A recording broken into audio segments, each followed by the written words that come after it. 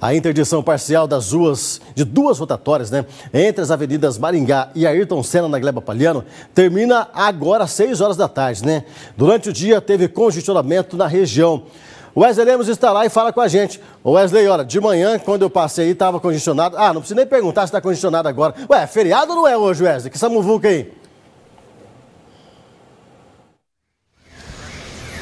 Pois é, Cid, nós andamos hoje por diversas vias de Londrina, eu com o repórter cinematográfico Roberto Pérez, e as ruas estão vazias, mas diferente deste local aqui por conta desta interdição, como você disse, né, terminaria às 18 horas, Cid, mas a previsão já com os funcionários aqui da Sanepar, eu perguntei para eles, deve passar deste horário.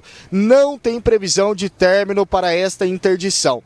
Interdição então aqui na rotatória da Avenida Ayrton Senna. Estamos aqui no final da Avenida Maringá, né? A Ayrton Senna começa logo ali na frente. E quem está passando aqui pela rua Professor Joaquim de Matos Barreto está enfrentando um trânsito muito pesado. Neste momento, então, vocês podem verificar aí os caminhões né, da Sanepar, enfim, aqui no local. Eles estão realizando uma obra aqui e essa interdição, então, começou pela manhã e terminaria às 6 horas da tarde, mas já não tem previsão. Então, se você que está assistindo a Tarobá pretende passar por este local, é melhor evitar, pois o trânsito está bem pesado. E antes, né, Cid, teve o aviso prévio, né? Tem uma faixa aqui que já estava no local há bastante tempo, né, informando que essa via então estaria interditada hoje, né, na quinta-feira de Tiradentes, como está interditada, e essa interdição volta no domingo. Então, as pessoas devem ficar ligadas aí que no domingo novamente essa via estará interditada.